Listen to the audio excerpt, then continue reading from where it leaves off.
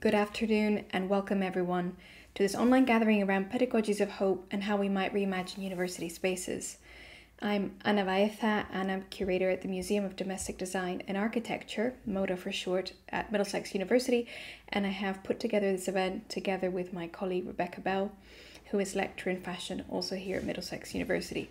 So it's great to see all of you here, and I will be chairing the first panel today, and Rebecca will be chairing the second panel. Before I go into the details of that, just wanted to give a bit of background as to how we put this event together. Rebecca and I met about a year and a half ago as we began discussing ways of working together in teaching using the museum collections as a resource for learning with material culture. And through those conversations, as educators, our interests collided and the feeling of urgency to create spaces that might offer counter states for ourselves and for our students. So we began talking about slow pedagogy and how to be otherwise, about decolonial approaches, and our position in terms of the curriculum and the museum collections, about how we could instill hope as a productive force for change and how to action this in classroom spaces. There was also the emotional weight of despair and frustration of finding time squeezed out to pause and reflect. And it was through this that we began sharing texts around pedagogy, quotes, notes, reflections. Not sure where we're going, but and I'll speak for myself here, finding reciprocity in this pedagogical curiosity and in our resistance to foreclosure of the imagination and of our teaching spaces. So we wanted to open this conversation up to create a shared or perhaps multiple shared spaces with other colleagues who are similarly posing critical questions around how we practice educational work and how we can do so, if we can, within the institutional restrictions that we must operate within. In our dreams today, we would have been gathered all together in one room. We would have big sheets of paper, markers, and movable chairs to invite interaction and movement through the different themes that interested us hope, utopias, decolonizing, feminist approaches, ontological approaches to education. Alas, COVID happened, so this hasn't been possible, but we have been able to gather perhaps a more geographically diverse set of participants here today, which wouldn't have been able to attend otherwise. And we're lucky to have all of you here today, an audience of experts and thinkers from different parts of the world. And we're very grateful that you're joining us. We're also delighted to have colleagues joining from the US, Kimberly Jenkins from Ryerson University, whose work has been tremendously influential in fashion education and in relation to pedagogies as a whole. But we're especially grateful today to our eight presenters who have agreed to come together and share their perspectives on pedagogy and educational practice from a range of disciplinary areas, including education, philosophy of education, sociology, and nursing. The conversation today, we hope, stretches the possibilities of the thinkable, if not always the possible, which we appreciate needs to be weighted against the material realities and structures that we're in. And I think a lot of papers are going to go to the heart of that matter about how we can exist within that institutional machine and still be disruptive, whether it's about moving beyond it, but taking advantage of the positions of privilege that we are in, whether it's about focusing on the what of what we do more on the how we do it, whether it's through the reform of the university by decolonizing its curriculum and its structures or by creating micro utopias within university spaces where we can be and learn with our students in non oppressive ways. So, that just sketches some of the overarching ideas that will emerge today, but also surely be contested in the discussion. I don't want to run into the valuable time of our speakers, so I'm just going to do some of the housekeeping and then we'll move on onto our presenters. As I said earlier, we will have two panels. The first will run until 2:15 with a break of 15 minutes and then we will start again with panel 2 at 2.30. We are using the webinar function of Zoom, which means that you are only able to see the panelists and Rebecca and myself as moderators. During the presentations, you can use the chat function, which has a little bubble to share thoughts, resources, links. But if you have questions for the presenters, we would ask that you post these through the Q&A uh, function. We are doing this to make sure that we don't lose sight of the questions as things can get really busy in the chat and we don't want to miss anybody's questions. We will move swiftly between presentations and then have time for discussion, which will be opened up by the moderator with some responses from the presenters, and then we will open up to the floor. You can also raise your hand during the time to ask questions and then we can unmute you to speak or if you prefer you can also just type on the Q&A as I said earlier. When you write questions of the Q&A, please also let us know if you would like to ask the question yourself or if you would rather that we ask it on your behalf. I should also say that we are recording this to make it available online. So if you don't want to feature in this video, please get in touch with Rebecca or myself after the event and we will remove the footage before we put anything online. So just one final thing about our ethos for this space. In the spirit of care for all those attending, every stage of our thinking and planning for this event today has been marked by our desire to create a space that honors race, gender, and class identities, just as we would in our every educational, everyday educational spaces. We wish to embrace uh, equality and spaciousness for all, and so we position this space as one that places vital importance on the perpetuation of racial inclusion and equity, intersectionality, gender, and trans inclusivity. I'll now introduce our speakers for this panel. Speaking first will be Judith Suissa, who is Professor of Philosophy of Education at the Institute of Education at University College London. She is interested in the intersection between political ideas and educational practice. In particular, her concern is to challenge the narrow focus on state schooling, characteristic of so much educational philosophy, theory, and research, and to explore the underlying political and moral assumptions of pedagogical relationships outside the arena of institutional forms of education. And the title of her talk today is What Are We Critical With and What Are We Hopeful About? Our next speaker will be Darren Webb, who is Senior Lecturer in Education at the University of Sheffield. He is interested in hope as a human experience, in particular, how hope is constructed in and through social institutions such as education, and how hope might be mobilized in the service of revolutionary politics. He's also interested in the pedagogical practices of the utopian educator. How does a committed utopist bring this commitment to bear on the role as an educator? Can there be such a thing as utopian pedagogy or utopian pedagogue? Where and how can or should utopian pedagogy best operate? And he'll develop some of this uh, in his talk, which is posed as a question Spaces and Pedagogies of Hope in the Age of Coronavirus. Our third speaker is Carly Guest, who is a colleague here at Middlesex University. Carly is senior lecturer in sociology, and her work is concerned with the personal and intimate narratives and memories of political movements, moments, and institutions. Carly utilizes creative narrative methodologies and feminist and critical pedagogies in her research and teaching practice. Her talk will explore what it means to teach on the edge of time, critical pedagogies and precarious utopias in the sociology classroom. And finally, Azumah Dennis is joining us from the Open University, where she is senior lecturer in education, leadership, and management. She has published in a wide range of peer reviewed international journals, including Educational Management Administration and Leadership and International Journal of Lifelong Education. Her research interests center on three areas post 16 policy, professionalism and practice, leading and managing quality in vocational education, and teacher education, critical pedagogy, ethics, and social justice. And her talk is going to be on speculative pedagogies of hope, a decolonizing intervention. So, a huge thanks to all our speakers, and I'll hand over to you, Judith. Thank you. Great. Thank you. Thank you for the introduction. Um, it's really good to be here, although it feels odd to say it's really good to be here because um, I'm just again sitting in my bedroom at my desk where I've been for the past four months. um, and that's kind of the theme of part of what I want to say. It's a bit daunting going first because I really wasn't sure what to expect, and I'm not even sure if what I'm going to talk about quite matches the title that I gave when I sent in my abstract. But anyway, I took as a sort of starting off point this theme of envisaging alternatives, which was in the, the invitation to, to today's seminar. Um, and I start from the position that the urgent political task that we face is to understand and analyze what's wrong with our current political institutions and structures and to imagine alternatives.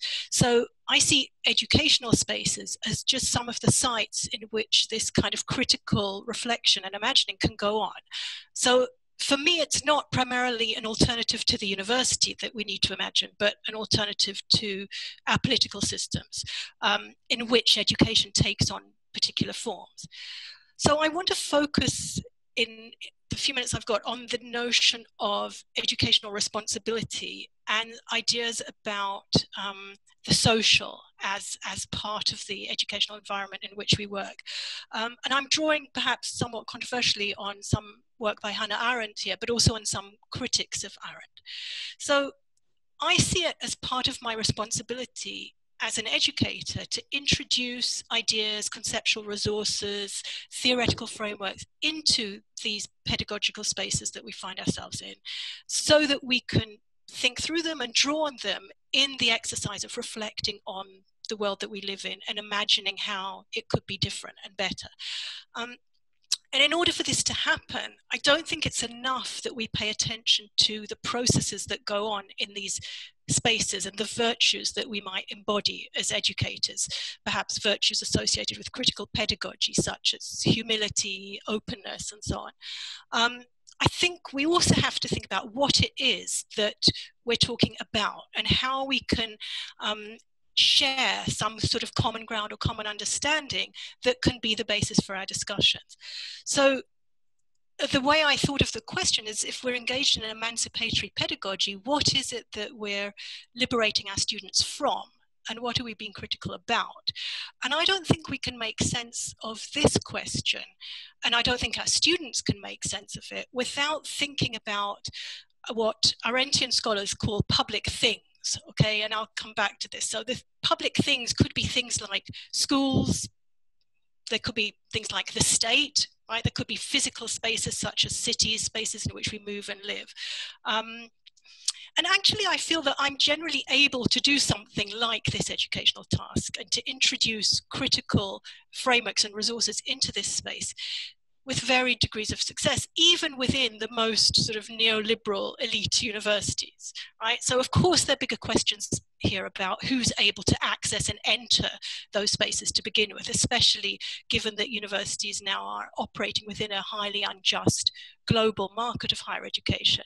But, but what I want to focus on at the moment is the way in which we operate in those spaces as educators. And I'm particularly concerned that the move to online teaching that a lot of us are now having to deal with is undermining some of the educational and political potential of the kind of pedagogical encounters that, that I'm talking about.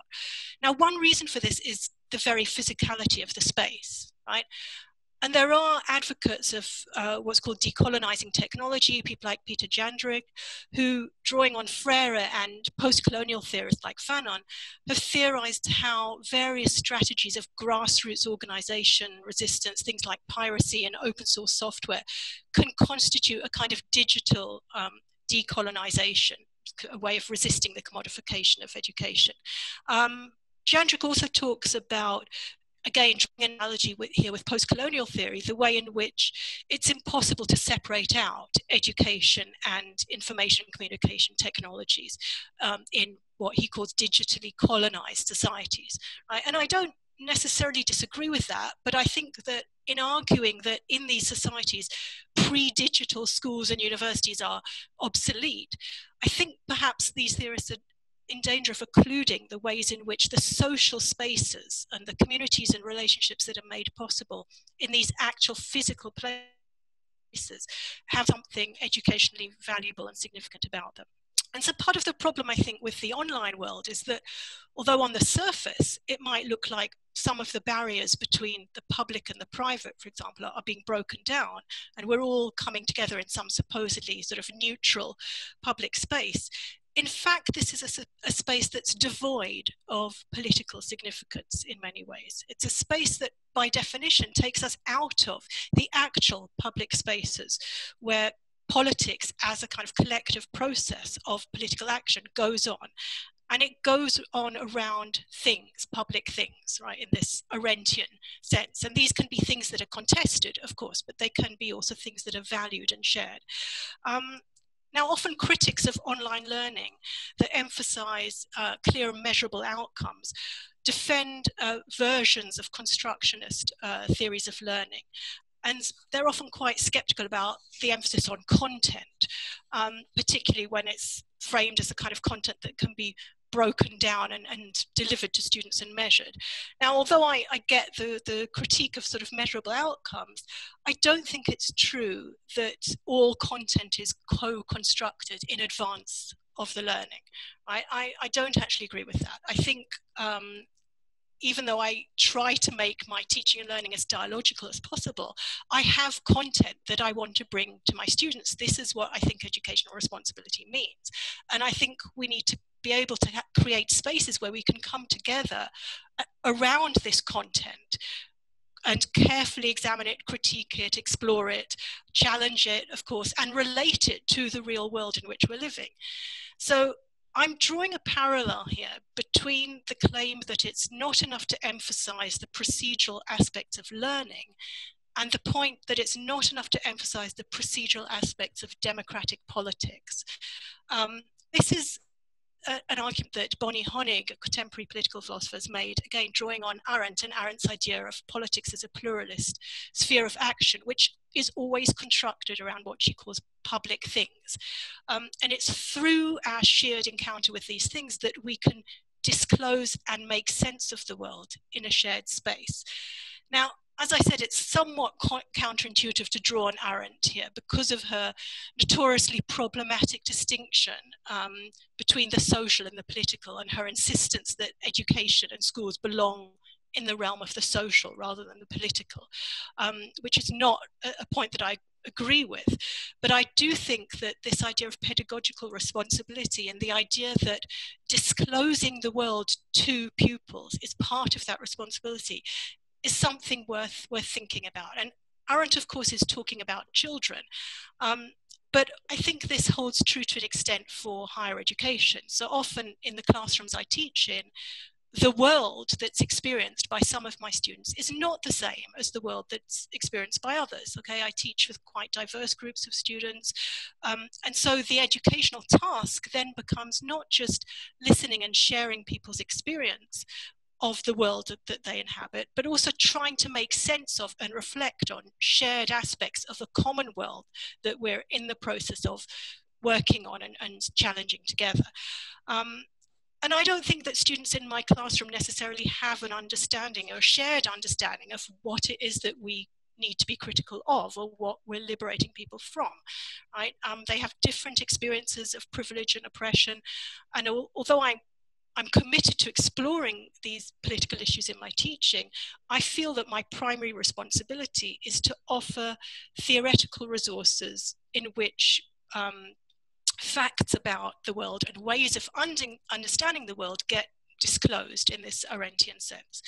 And Arendt, in her uh, discussion of facts and falsehood and her discussion of political lies, uh, makes the point that factual statements acquire political implications only by, by being put in an interpretive context.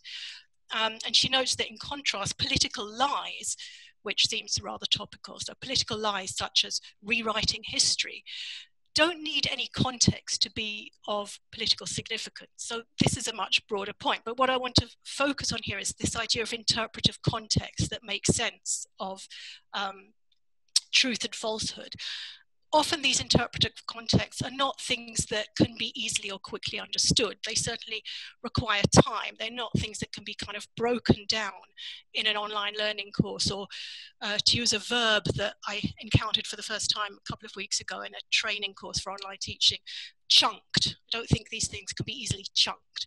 I didn't even know that was a verb, but never mind. Um, so I, I think that we have this notion of the interpretive context is, is an interesting one. And I think that sometimes the significance of the interpretive context and the content that we're sharing becomes tangible in the public spaces in which we encounter one another.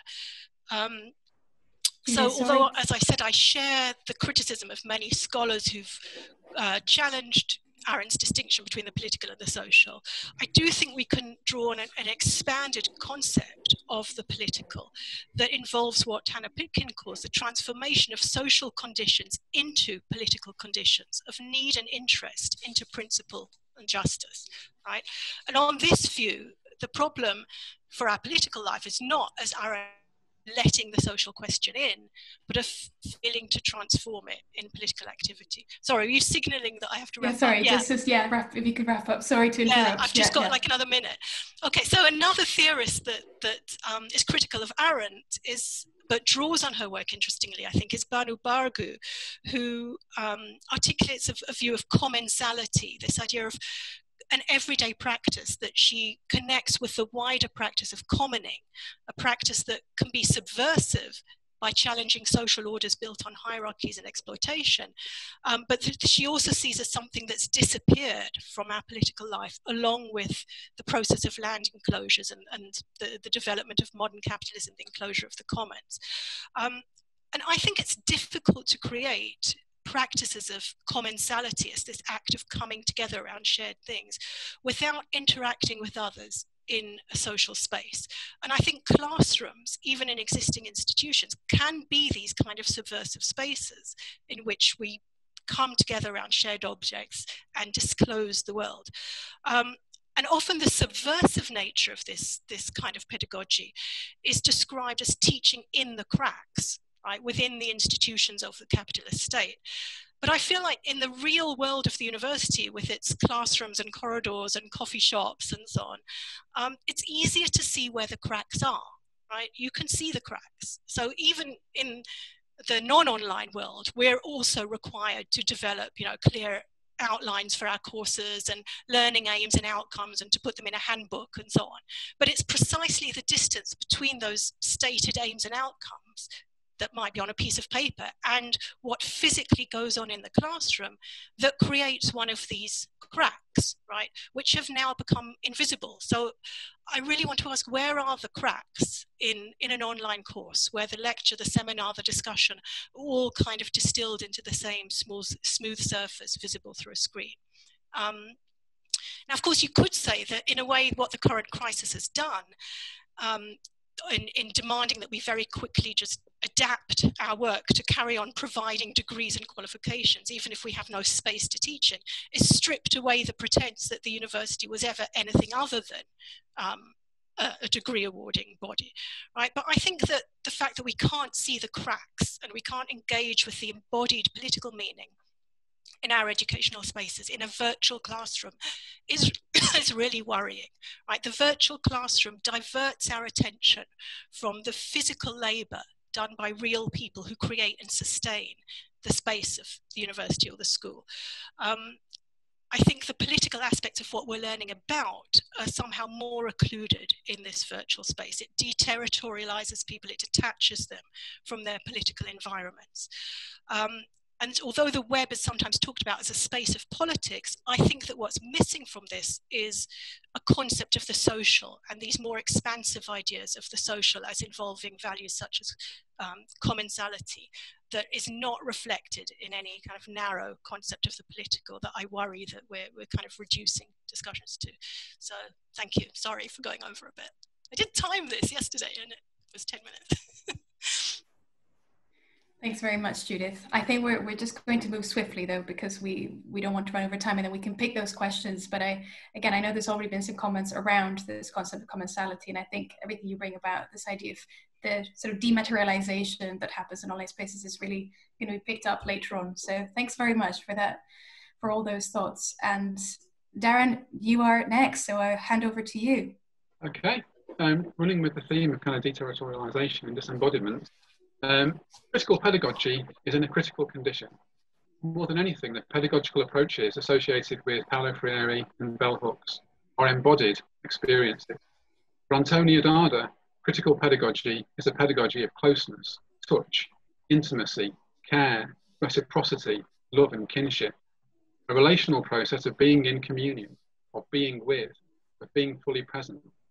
An organic process of bodies together coming to know and be known a collective process of curiosity, creativity, and imagination, shot through with shared moments of tenderness, compassion, vulnerability, uncertainty, and anxiety. A dialogical process in which the materiality of bodies is indispensable, in which the vital experiences of the flesh are central to any real act of knowing. Critical pedagogy is also a pedagogy of depth, a pedagogy of long, close collective readings, extended dialogue, and constructions of knowledge emerging, sometimes painfully, from critical explorations, of lived histories, and experiences. It's a pedagogy of unfinishedness in which learners and educators hold hands as they guide each other along the ontological path towards becoming more fully themselves. It's the intimacy forged by the materiality of presence that makes possible the process of educational archaeology, the uncovering of submerged longings, the excavation of buried histories, the tapping of repressed desires, which is the key to understanding critical pedagogy as a utopian endeavour. Transgressive pedagogical spaces are characterised by bodies in alliance as individual learners forge a collective we. For Darder, one of the key aims of critical pedagogy is to diminish the distance, both the distance between teacher and learner and the distance between lived experience and what is learned. How does one embody and enact at a distance a pedagogical approach which seeks at its very core to diminish distance? This moment does seem critical because distance, isolation, separation, disconnection, atomized, abstracted, fettered bodies are all antithetical to critical pedagogy in any and all of its various forms. Of course, we are told that educational technology opens up new possibilities, and indeed the discourse of radicalism has been recuperated by the university with gay abandon, as countless attempts are made to persuade us that EdTech holds the key to new processes and practices that are radical, innovative, sustainable.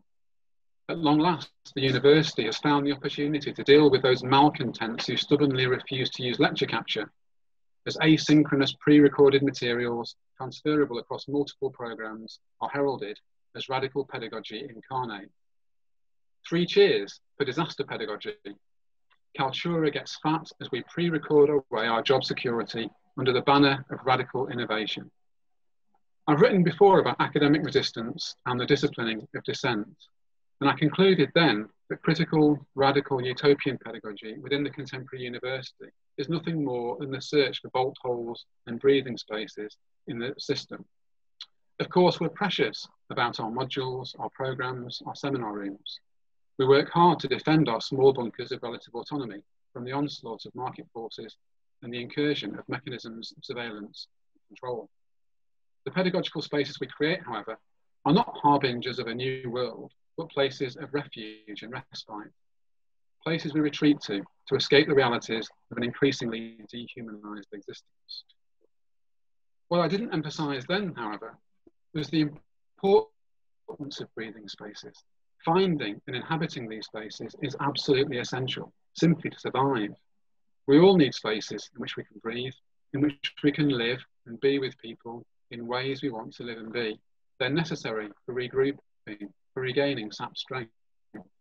And while the transgressive force of the subterfuge rhythms of the undercommons always struck me as overplayed, I do miss those fugitive encounters on the streets, on the stairwells, in the corridors, in the kitchen, in passing. I feel their loss as a significant lack. What this critical moment has revealed to me is the fundamental centrality of material bodily presence to educational encounters. And this raises profound questions, of course, about how best to enable experience of full presence for all bodies, including and especially those marginalised or excluded because of colour, gender, sexuality, disability, or class. But it's something we should be fighting for in response to the daily messages telling us that the move to online learning presents radical opportunities. For me, there's little hope to be placed in the university as such, and certainly no reimagining of its spaces that can speak to an insurgent, radical, transformative hope. Leaving aside the brute disciplining force of generalised precarity, what we're witnessing now is a firm bedding in of what I term sound hope, a mode of hoping which espouses a lofty sense of possibility but is tempered by a gritty sense of limits. Living in the grips of sound hope, one finds a narrowing of the bounds of possibility in the name of a co opted utopianism, an emaciated utopian realism that tames and tempers the radicality of utopia and reduces it to localized innovations realizable in existing.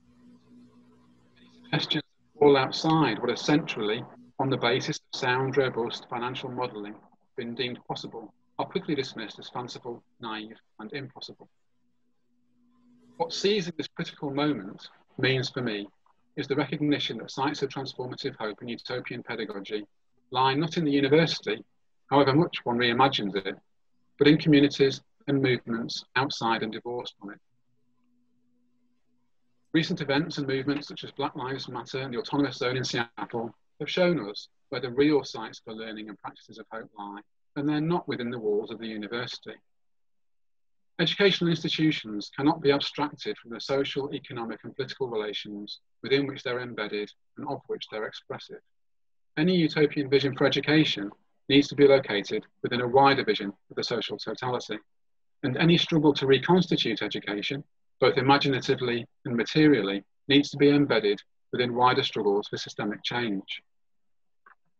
While seeking to preserve our bolt holes and breathing spaces within the university, we should be bringing our privilege, skills, knowledge, and resources to bear in wider social movements and community struggles.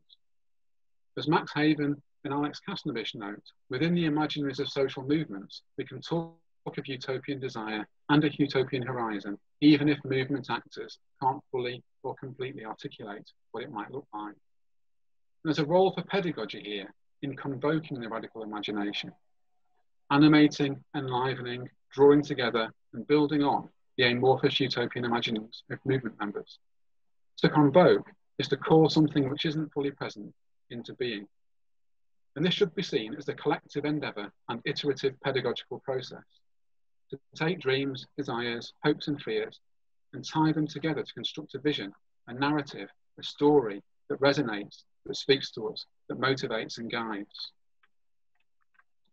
The very process of working together to construct a grassroots utopia can have transformative effects.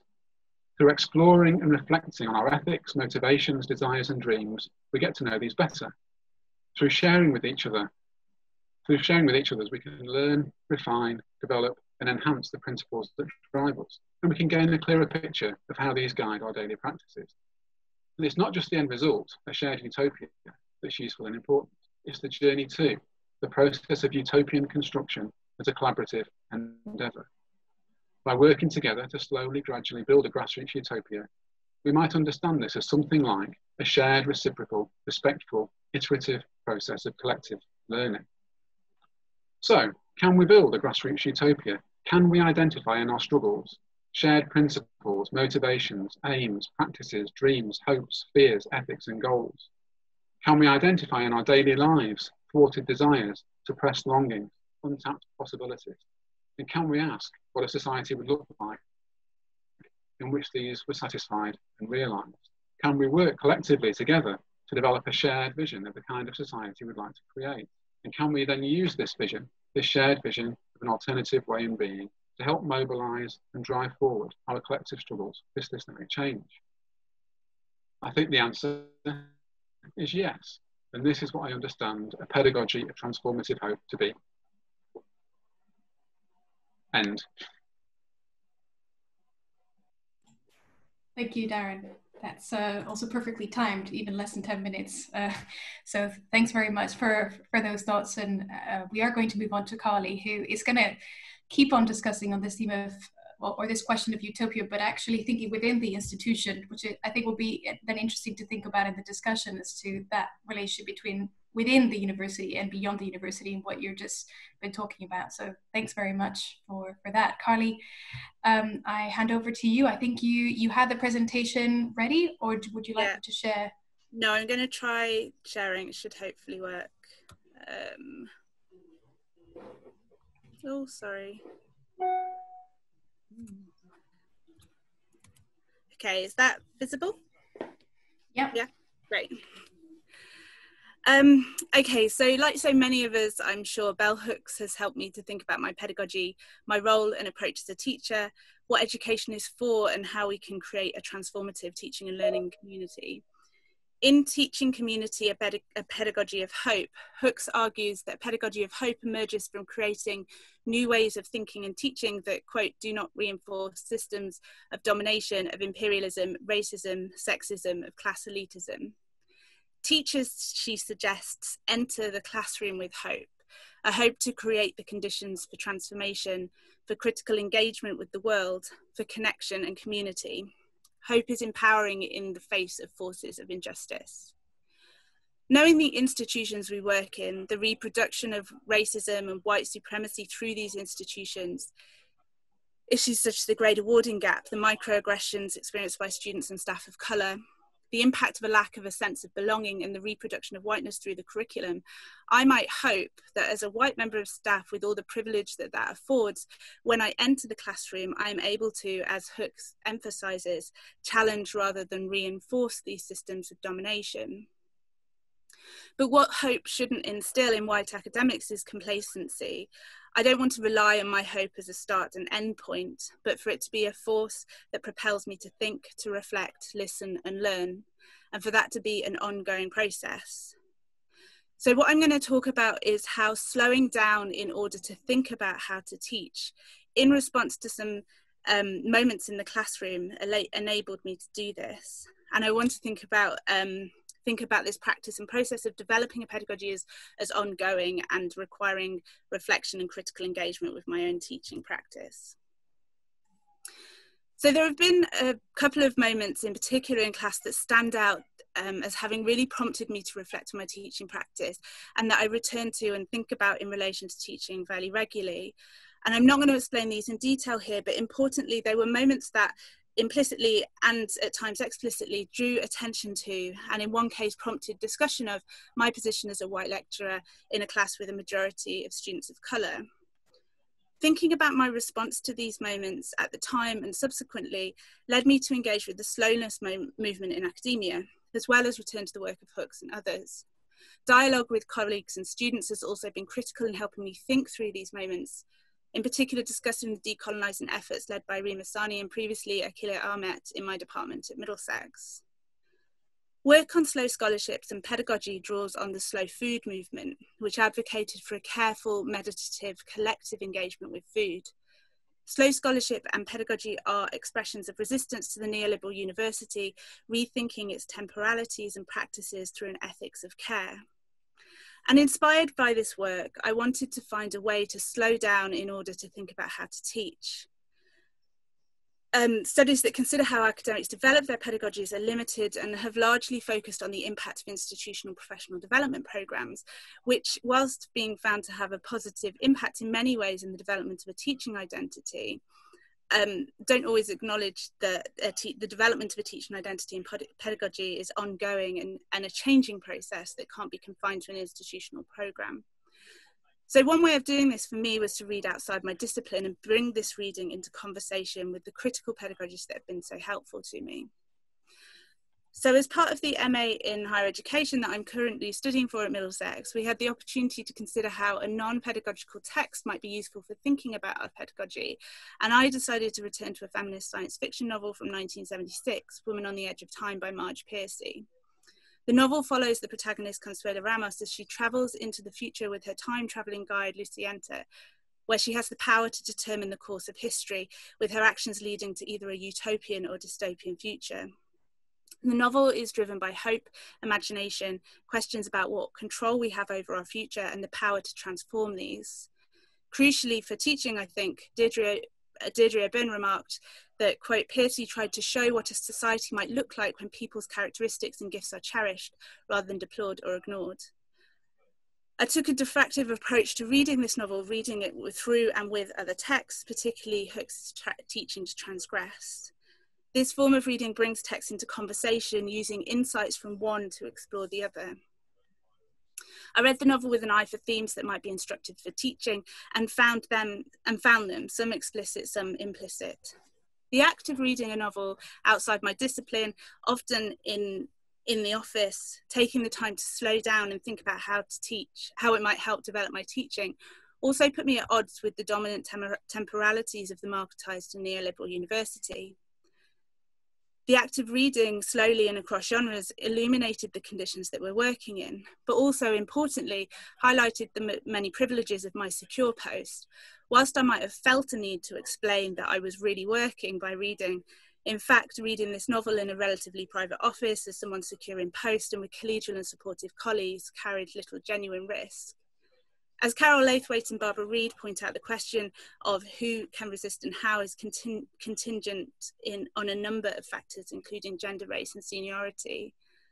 However, a, a feeling that my reading at work might be considered unproductive and I know how ironic that sounds, demonstrates the various ways we internalize the demands, expectations, and temporalities of the contemporary university and the ways in which the audit culture of universities means that, to quote Leathwood and Read, surveillance regimes are internalized and reenacted by participants, between participants. Reading, thinking about, and discussing and writing about this novel helped me formulate and articulate my pedagogic practice as one of teaching on the edge of time, this conveys my sense of occupying different temporal positions in the classroom, which develop my teaching practice and crucially, I think, recognize and embrace the uncertainty of teaching, demanding that we ask what this uncertainty is drawing our attention to, rather than rely, relying on the overconfidence, assurance, and authority that academia so often expects us to perform. So, in trying to think about my temporal positioning in the classroom, particularly thinking about my response to uh, moments that I referenced earlier, I um, thought about these four different aspects. So, firstly, in the classroom, we may often have a sense of not knowing, not knowing how best to respond, whether the approach we're taking is the right one. Like our protagonist in the novel, we have different options with often unknowable effects. Discussing these with students and colleagues is often the most productive way of moving beyond this sense of not knowing. Secondly, embracing uncertainty means questioning our responses and approaches. It means asking the questions that Bell Hooks poses about how we can co create the conditions for freedom and disruption, challenge thinking, and engage differently with the world. I think again, this requires to be open to reflection, questioning, and challenge. Thirdly, discussion in the classroom and my own positions of not knowing and uncertainty return me to my own moments of transformation through learning we are all always positioned on the edge of something. There is always potential to transform our thinking through learning and aspects of our engagement with the world that require transformation. I always want to remember this, particularly when students are engaging in conversations that might feel uh, challenging or, or difficult. And finally, recognising the temporal uncertainty and precarious of utopias in the classroom, those we might hope to create through a learning community, as much as we might hope that our actions in the classroom move us towards creating and at times realizing transformative learning communities, we cannot assume that they will keep us there. Utopias are processes and possibilities, but are always precarious, and we risk complacency if we assume otherwise. So finally, I just wanted to share a brief extract from my uh, teaching diary. I've been keeping reflexive teaching diaries um, on and off whilst working at Middlesex. And in recent work um, that I've been doing in another area with Rachel Schoeger at Kent, uh, we've been using I poems, which were um, developed by Brown and Gilligan uh, to really look at um, transcripts and think about the subjective and affective dimensions of experience. So with an I poem, you take the I statements and, and arrange them to create a poem.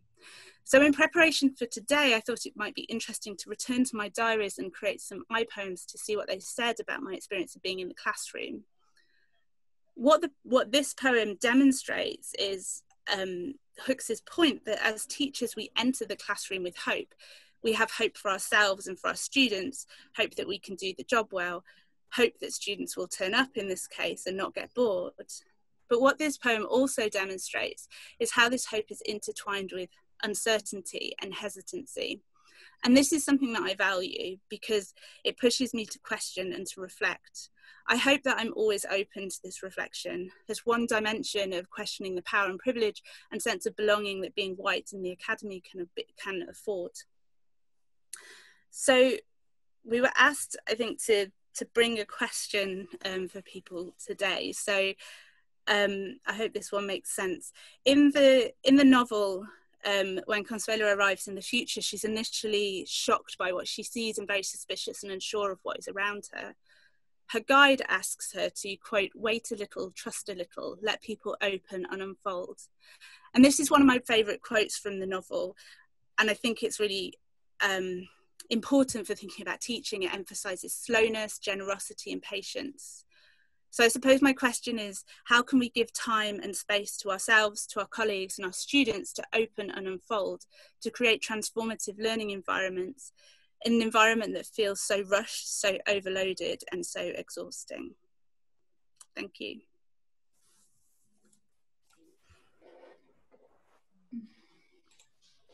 Um, how do I stop sharing? Sorry, there we go. Thanks. Thanks, Carly, for leaving us with that question, which we will pick up after we hear Azumah's presentation. And, and I think for just bringing all of those different threads together around the temporality of being in a classroom and how hope and uncertainty uh, very much go together when we're thinking about how we operate within these spaces. So thanks. Thanks for that. I'm going to let Azumah now uh, go next. And after that, we will have a, a, discussion. So Azumah, I think you had a presentation. Yes. As well. Are you, would you like to share it or would you like me to share it? I will try to share it. If it works, then that's fine. Um, mm, it's taking me to a funny place on my computer. It might be quicker if you share it. It's asking me to go into my privacy preferences and that sounds okay. complicated and time consuming. Yeah, that's right. fun. Let me just do that. Okay. Oops, just one second.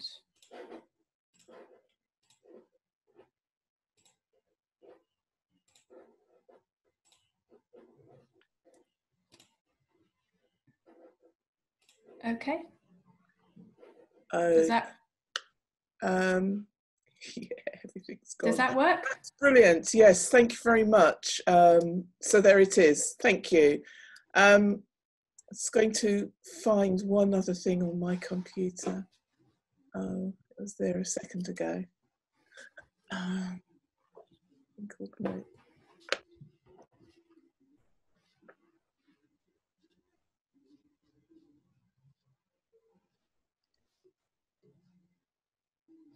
Great, thank you. Um, so uh, I guess I will start by saying that um, the presentation is is largely based on um, a, a, a, a, chapter that I wrote some time ago, though, uh, well, a couple of years ago, though obviously it, it relates to things which um, I'm thinking and feeling and considering all the time. It's not, it wasn't just a sort of a, a completely confined um, project. And um, like everybody, I start by thinking about the particular moment that we're in. Um, and um, there's a quote identified from uh, Milton Fried Friedman, um, clearly not somebody who I read extensively and quote particularly. In fact, this will probably the only time I've ever quoted him. Um, but uh, the very useful idea that during a, a crisis or only a crisis, um, it is only through a crisis that actual or perceived um, only a crisis, actual or perceived, produces real change. Um, and when that crisis occurs, the actions, the actions which are taken depend on the ideas which are lying around.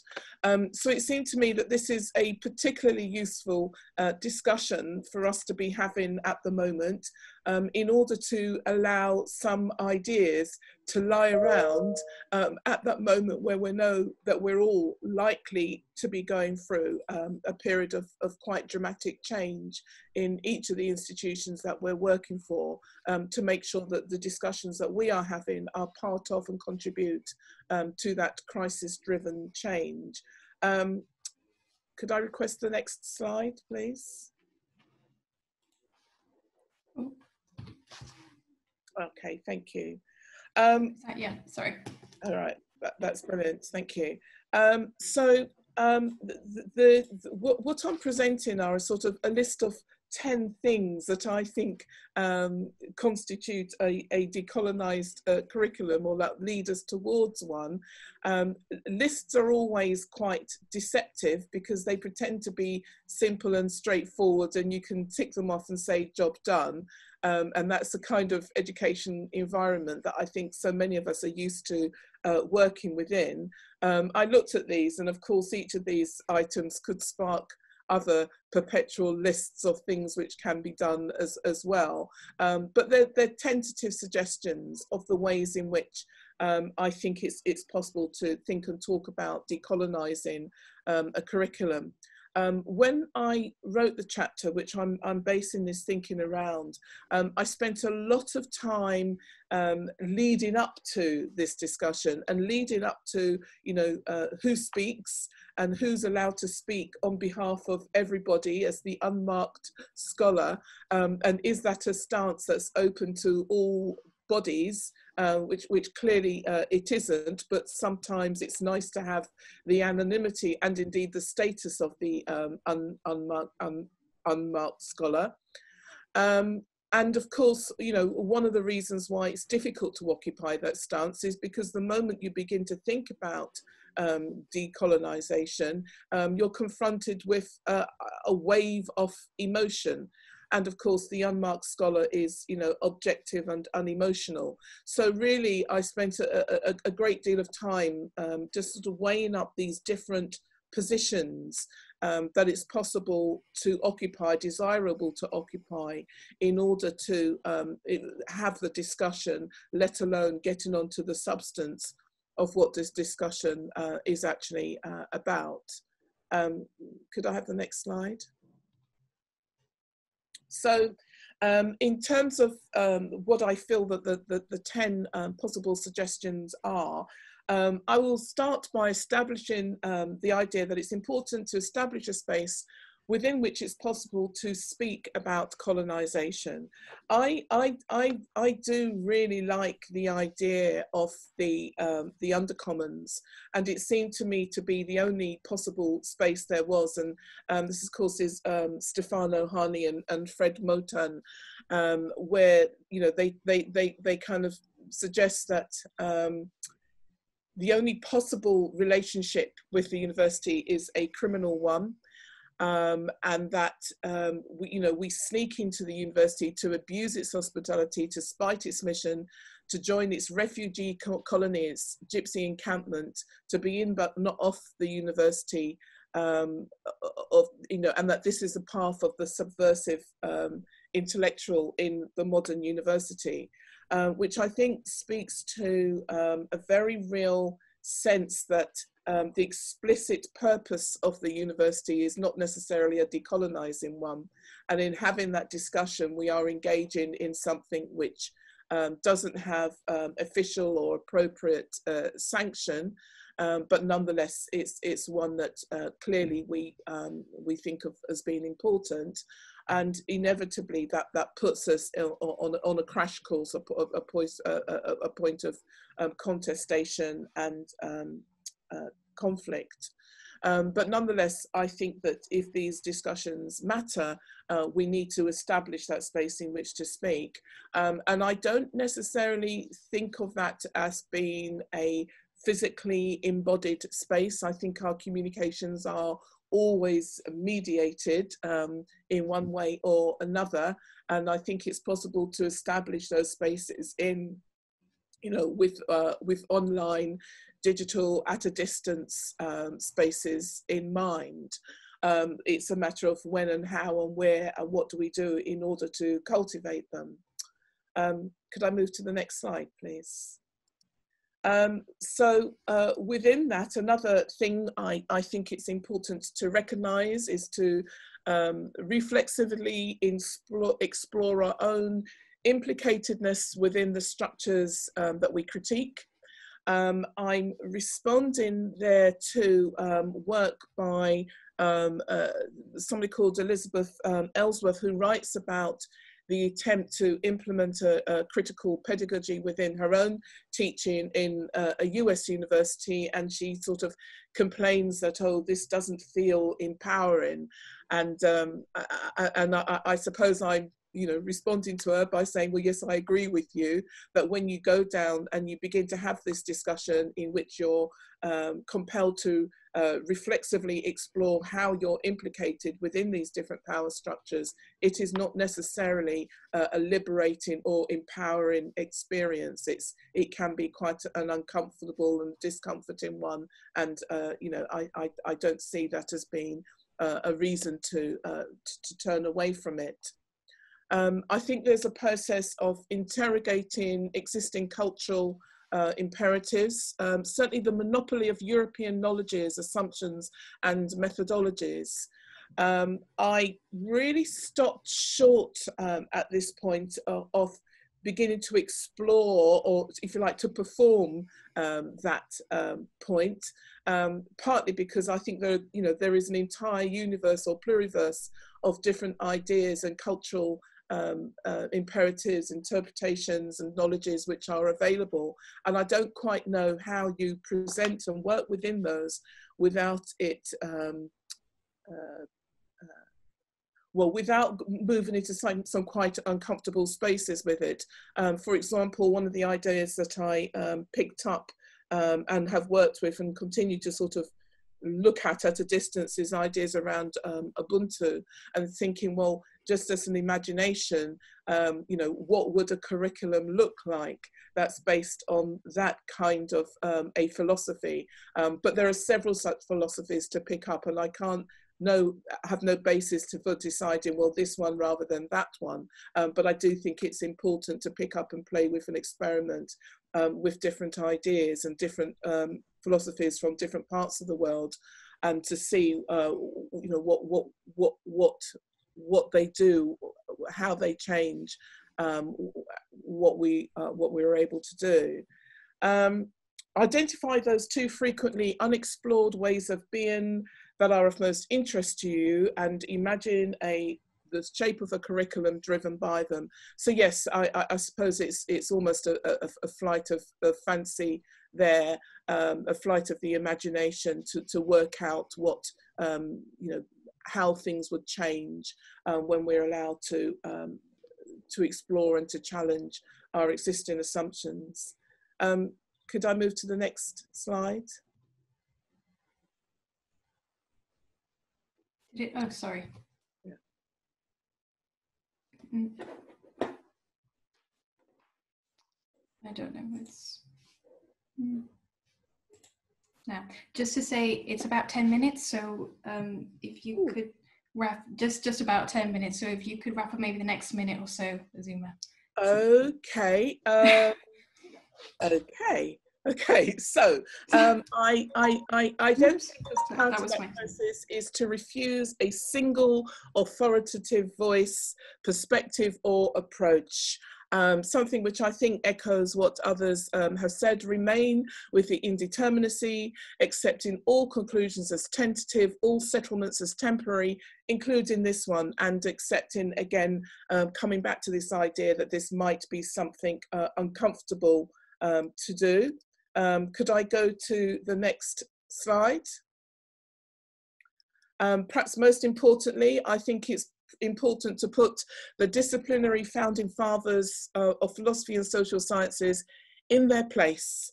Um, and you know that that phrase meaning all the things that it says explicitly and echoes, um, that is to acknowledge them as not universal, as not speaking for all of us, but as particular voices that come from a specific time and a specific place and that is part of how we teach and talk about them, if indeed we teach and talk about them uh, at all. Um, and uh, I think locate unheard, silenced, and trivialized voices relevant to your discipline, um, exemplify and amplify them, and place them alongside the orthodox, uh, orthodox uh, established voices. And in doing so, um, that's an implicit motion um, of critique. Um, could I have the, the final slide? um, I think there is a, a, continual process of exploring and identifying the political implications of specific pedagogic approaches.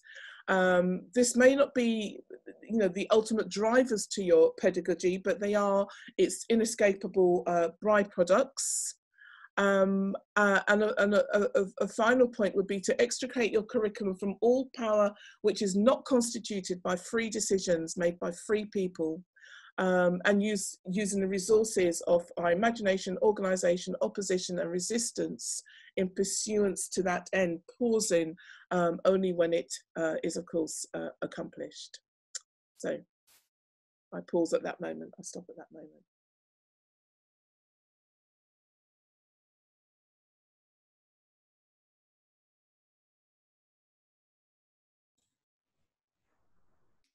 Okay, thank you. Thank you very much, Azumah. And also, I, I should also say that there is um, I mean, much of what you said in this presentation also that for those of you that are interested and we could share this afterwards, this is part of a chapter that you contributed to that book, Decolonizing the University. So I think that sort of pulls many of those uh, threads. And I think, um,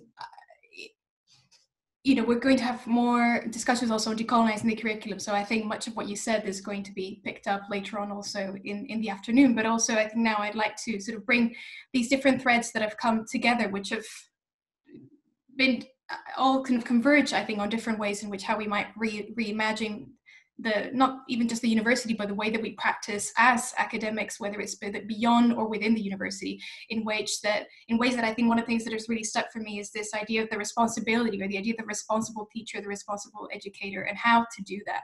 So I am aware also that we are actually now where we would be breaking for the for, for the break so i did have some questions that i wanted to ask you all but we do have some questions from the attendees. So I think I'm going to give uh, priority to that. And then maybe, maybe there's other questions that I can bring up when we go into the final discussion at the end. So uh, there were a few questions that, okay, let me just. So first we had a question from uh, Lee Jerome, and I don't know, Lee, if you would like to ask the question uh, yourself, or if Rebecca, are you able to unmute? Lee, because I think you're the host, or we can ask this question.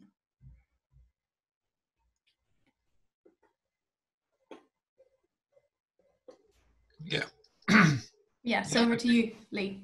Um, okay, I you caught me by surprise. I didn't really frame it as a question, but I was just um, reflecting back on the first two presentations and thinking uh, practically what we've been asked to do at Middlesex is to respond very, very quickly to the minor modifications process to get in case we need to make changes to our modules. And I was thinking about that in relation to what Judith was saying about, in a way, uh, my interpretation of it was we've lost a lot of the power of our pedagogic practices when we're together in small classrooms. Um, and so we've we've tried to do some rapid thinking about well if we can't do that then we can't work with people in that collaborative way what can we do in terms of the content so that at least we use the modules to do slightly different things and introduce slightly different perspectives so i was just wondering because i think all these ideas are fantastic but to me it kind of boils down to you get two weeks to make minor modifications to your module and then you're locked into delivering it for 24 weeks next year online on zoom and teams so one of the things we've explicitly done is think about introducing a wider range of authors and a wider range of interesting case studies from community practitioners. I mean, we have a fairly traditional research methods module, but we just thought all the time we're not doing practical stuff. Let's look at interesting examples and case studies that would pick up a range of kind of social and political issues that we might not have foregrounded uh, in the way that the module normally runs, runs, which is around kind of teamwork in small groups doing a project on campus. So it, it wasn't really I suppose if there's a question there, it's kind of what people would recommend as kind of areas that you would like to see us moving forward on in terms of adapting modules because otherwise we're just going to be left powering through the same old content with a very flat pedagogic format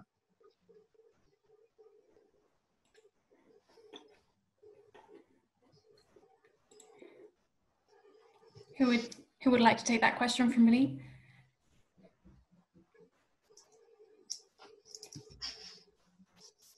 I mean I I don't really have an answer. I think these are all really important points. Sorry, Azumah, were you were you going to respond? Do you want to? Because no, you're unmuted. Ahead, please. Oh, okay.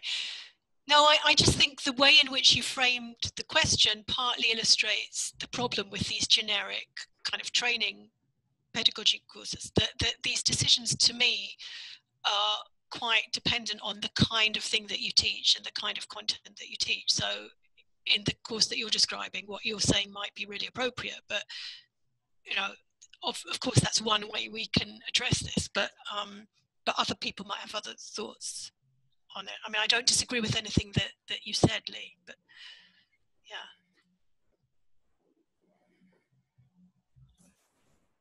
Can I? As, yeah, Carly, would you like to? Yes. I think actually there's there's a comment in chat which in the chat which sort of responds. So Faith Dillon Lee has has um, has said we should maybe be a bit more open-minded about the kinds of texts we value and share in our classroom, which I think really links to Azumah's point about um, I can't remember the the uh, word you used, but but those sort of marginalised texts and um, um, I think thinking about kind of this wide range of materials that is available and and how we can there are certain sort of restrictions I guess that have been imposed on us through this move to online teaching um, but thinking about how can we still try and centre student experience um, think about all the where different voices are coming from and, and often that does start with kind of looking beyond the um, the kind of academic text that we're um, that we're kind of used to using, I suppose. And you know, there's a everyone can see the comment, I guess, about the whole wide range of sort of fictional and biographical and um, different types of text that we can use. And I think they can be really exciting starting points um, for exploring um, a whole wide range of issues. So I don't I, I don't know whether that sort of directly responds to Lee's point, but I guess thinking quite broadly about the materials that we use. Um, but yeah, I think this this feeling of of having to rush towards um, being able to say what we're teaching next year, next term, and getting it all set in stone, and then feeling trapped into it.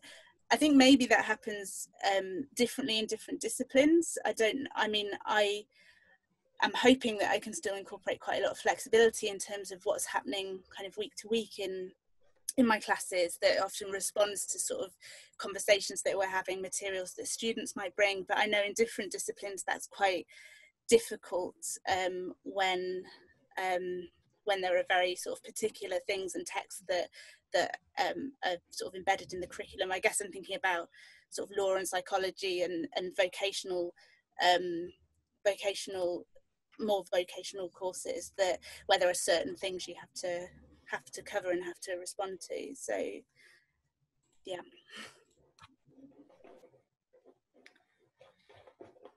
um, sorry i'm just I'm, I'm both looking at other questions that have been coming up and also listening so i, I apologies that my multitasking at the moment shall i say we have we have so there, i think there was another question from yes yeah we have a question from ali um, which i have unmuted um, if you'd like to go ahead. Should be, hang on. There we go. Hi, thanks everyone uh, for the presentations. My question is, um, I'm interested in the classroom. For each of the speakers, where does the classroom begin and end? What do you consider the boundaries of the classroom? How does the space of the encounter and learning impact the kinds of exchange we enter into with students? and can expanding the classroom to the outside the other be a way of radical pedagogy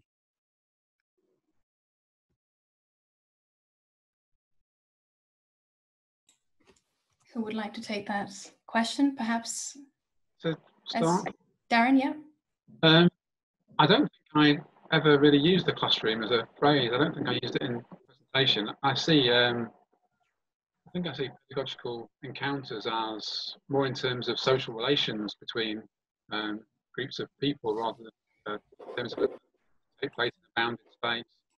So those social relationships are always going to be porous between spaces, and so, so I don't really see the classroom in terms of a um, physical walls to move beyond. I see the relationships extending beyond the interactions of the classroom, and obviously some of those some of those extended relations do take place online and through online media. Um, and I wouldn't want to come across as saying that um, there's no potential to be found in online interactions. I think I was simply saying that once you take the physical presence away from those social relations, those pedagogical social relations, then they become um, significantly more empty or difficult to um, work with than than ordinarily is the case. So yes, yeah, so, so, sorry, I don't want to take too much time. I think if, if anyone like would like to add anything to that, or otherwise we do have another question that we will ask before we go into the break from Faith Dillon. But before that, would anyone like to add anything to what Darren just said? Yeah, Carly, yeah, go ahead. I think I do use the term the classroom a lot. So um, that question really made me think. But I think as well as kind of expanding those boundaries and, and obviously so much of the learning that takes place for our students is outside the classroom and for us but I I also think it's really exciting to think about, you know, if we think about this physical space, how can we do that differently? And how we've been really schooled in that idea of standing up at the front and we have our rows of, you know, desks and students in front of us. How can we really sort of disrupt that space? So I think even though absolutely kind of thinking beyond those walls and the walls of the institution is really important, there's a lot of um, there's a lot of sort of exciting stuff that we can do in that space as the group of people in the room, which um, which I think is a a nice way of thinking about how to kind of disrupt the power that that circulates in those you know four walls in in the institution.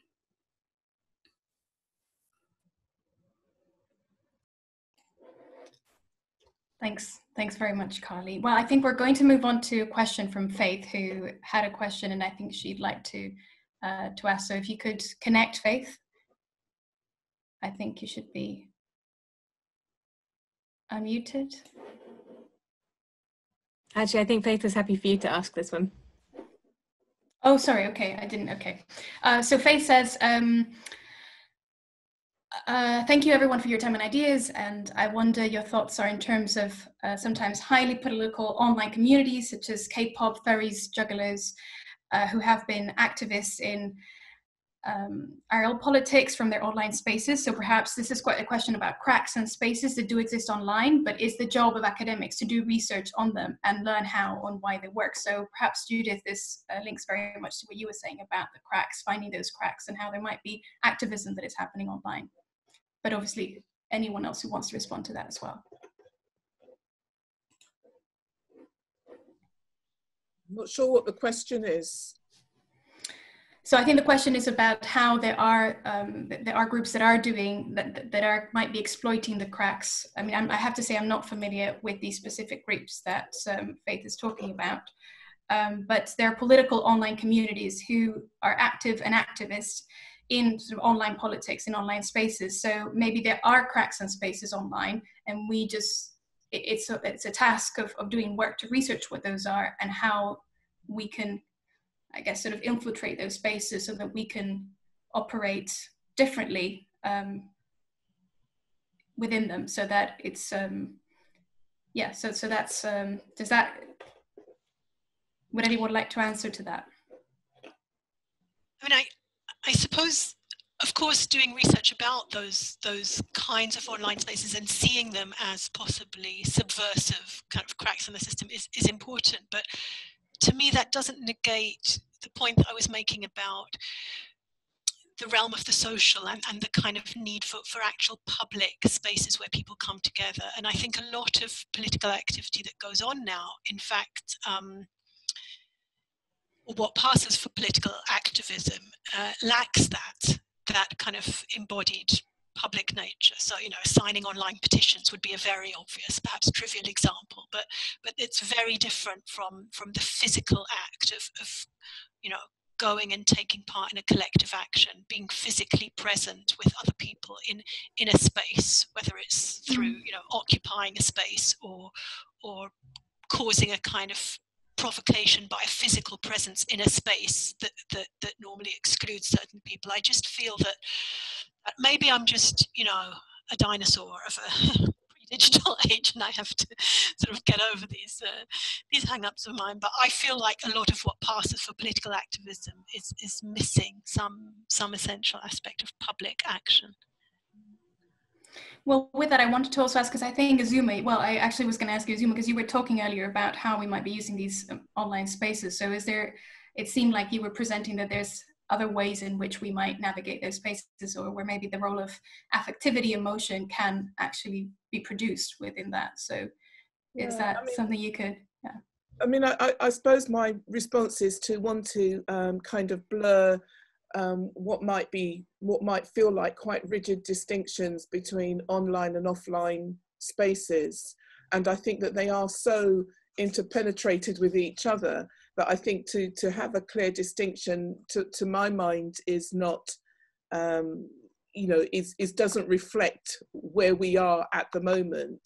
Um, I'm, I'm also inclined to um, to think that there is a kind of activism that can take place online, which fine doesn't have the kind of the brute force of knocking Colston off his plinth, um, but nonetheless can be actively involved in people um, creating, um, you know, performing particular types of communities online, and they do translate into or they do become or do shape and you know have an influence on physical encounters um, so I, I, I, kind of you know want to break down those um, distinctions a little bit and to suggest that um, you know what happens in one type of space isn't exclude, exclusive to that space but also um, has as wider and broader uh, implications.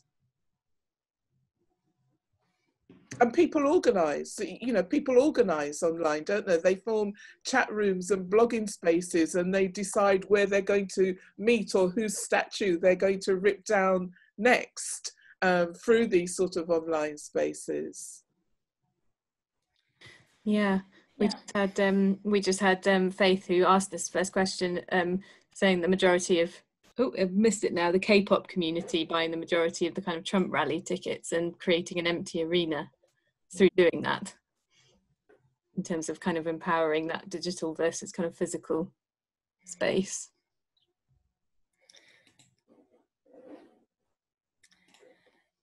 Yeah. Great. Well, I think, unless I've missed anything, I, I think we're probably going to wrap up for this uh, for this panel, and then we're going to take a little break, and then we'll come to the second panel, and we can pick up some of the, the remaining threads in, in the final discussion eh, later this afternoon. So we are running about 15 minutes late. So maybe should we say 10 minute break and then we can come back at 20 to, 20 to 3 and we will start the second roundtable. But I also just want to say thanks very much to all our presenters. Thank you very much. Thank you.